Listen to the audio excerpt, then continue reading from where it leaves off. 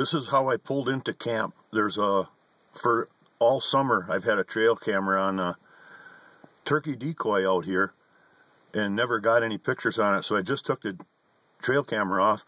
And I'm, I, I this bald eagle came and tried to, he grabbed it. Now both of his talons are stuck in this, in this turkey decoy. I gotta see what I can do.